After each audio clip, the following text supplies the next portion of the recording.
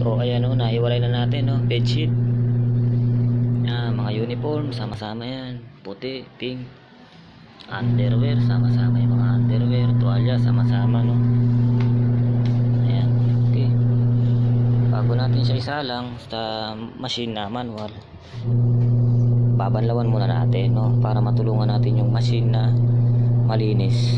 Dito pa lang, malinis na natin sa banlawan no? Doon sa banlawan. So ayun. Ayun ang gagawin natin. Okay balikan ko kayo